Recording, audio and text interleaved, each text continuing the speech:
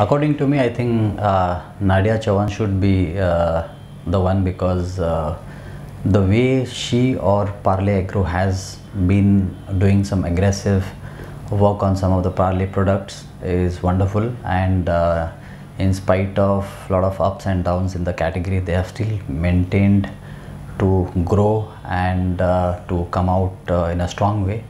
And she is the one who has been fronting the brand. So i thought uh, she deserved it uh, compared to the list that uh, i have seen